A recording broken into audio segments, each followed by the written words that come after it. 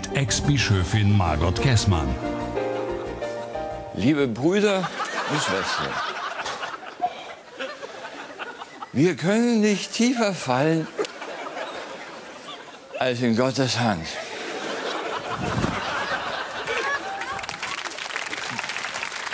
Schönen Sonntag.